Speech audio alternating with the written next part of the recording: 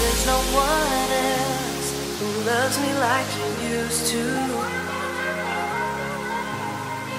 Sometimes we're not ourselves, there's no one I can turn to.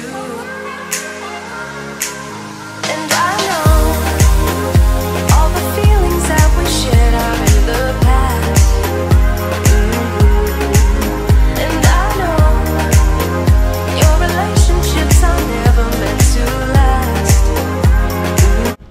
hello everyone तो देखो, सबसे अच्छी news मैं सुनाना चाहता हूँ कि यार मैं फाइनली फिफ्थ ईयर में पहुँच गया।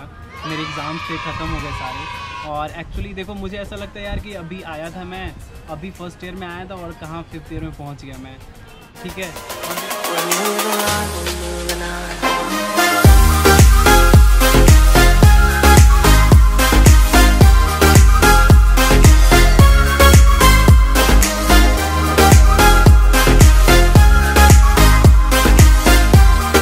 जहाँ तक रही घर जाने की बात तो मैं जुलाई में घर जाने वाला हूँ और अभी तक देखो इंटरनेशनल फ़्लाइट स्टार्ट नहीं हुई है। तो अभी मैं सोच रहा हूँ ना कि ये जो अभी लॉकडाउन है, जो इंटरनेशनल फ़्लाइट स्टार्ट हो जाए, जैसे कि, जिससे कि मैं घर जा पाऊँ जुलाई में।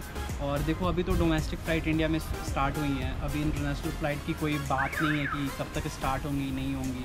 ठीक है, यार, इसलिए मैं सोच रहा हूँ कि अगर इंटरनेशनल फ़्लाइट स्टार्ट हो जाएँगी तो घर जाने में आसानी रहेगी हम सभी के लिए। यहाँ पे जहाँ तक लॉकडाउन की बात है, बिस्केक में तो लॉकडाउन यहाँ पे एकदम कम्प्लीटली ख़त्म कर दिया गया है। बस पार्सली थोड़ा सा है, जैसे कि मान लो कोई जिम हो, या कोई स्कूल कॉलेज यूनिवर्सिटी तो मॉस्क वगैरह, ये सारे प्लेसेस अभी बंद है। यहाँ पे जो भी मार्केट है शॉपिंग मॉल एवरीथिंग रेस्टोरेंट सब कुछ पब्लिक ट्रांसपोर्ट एवरीथिंग सब कुछ ओपन है यहाँ पे।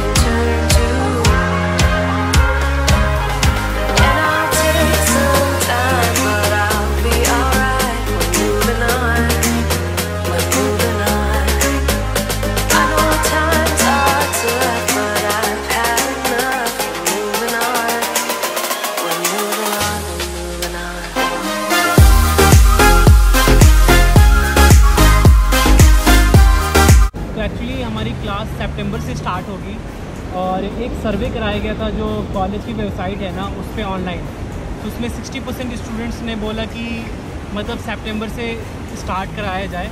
और सेकंड ऑप्शन था कि मतलब जुलाई आई थिंक जून के लास्ट में या जुलाई से ही क्लास स्टार्ट कराया जाए और सेमेस्टर पहले ख़त्म करा देंगे हम।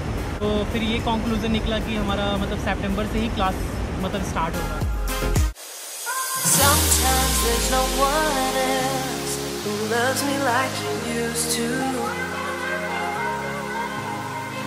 Sometimes we're not ourselves, there's no one I can turn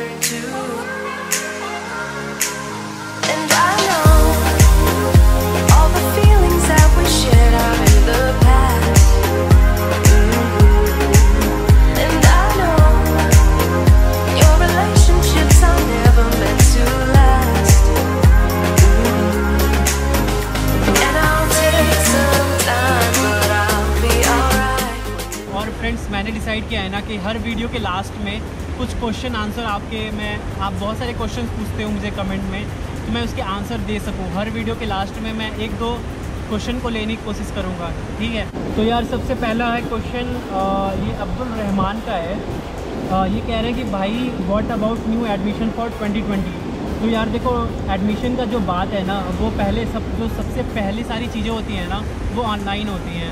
admission letter invitation letter बच्चों का आप घर पे रहो, अपना पासपोर्ट और सारा डॉक्यूमेंट्स भेज दो, जहाँ भी ऑफ़िस है, दिल्ली में या जहाँ भी तो वहाँ पे वो वीज़ा भी लगवा देते हैं तो इतना सब प्रोसेस तो आपको घर बैठे हो जाएगा। और बच्चे जो आते हैं किर्गिस्तान में, मेरे कॉलेज में, वो अक्टूबर या नवंबर में ही आते हैं एडमिशन के लिए फ़र्स्ट ईयर के लिए। तो यार, आपको दिक्कत नहीं होगी, क्या पता उस टाइम तक इंटरनेशनल फ़्लाइट स्टार्ट हो जाए। तो आपको इतना सोचने की ज़रूरत नहीं है अभी। और जो एडमिशन प्रोसेस है ना, वो मुझे लगता है जून के लास्ट में और या तो जुलाई के फ़र्स्ट वीक से स्टार्ट हो जाएगा एडमिशन लेटर वगैरह निकलना, हमारी और जो सेकंड क्वेश्चन है, वो है इनका क्वेश्चन है कि भाई किर्गिस्तान में एम करने के बाद इंडिया में उस डिग्री को एक्सेप्ट करते हैं कि नहीं? तो यार मैं बोलूँगा कि एक्सेप्टेड है। एक्चुअली देखो मैंने पहले भी वीडियो बनाया इसके ऊपर। आप एम से रिकॉग्नाइज जो भी कॉलेज है ना, उन सब में आप एमबीबीएस कर सकते हो आके। आप एम की वेबसाइट पे जाओ, वहाँ चेक करो कि कौन कौन से कॉलेज रिकॉग्नाइज हैं। आप उस कॉलेज में एडमिशन लो, आराम से उसका एमबीबीएस की डिग्री वैलिड है इंडिया में। ठीक है ना? सो so फ्रेंड्स ऐसे ही ना, आप कमेंट सेक्शन में मुझे क्वेश्चंस पूछो। मैं हर वीडियो में ना, एक, दो, तीन क्वेश्चंस मैं लेने की कोशिश करूँगा और उसका आंसर दूँगा, ठीक है ना?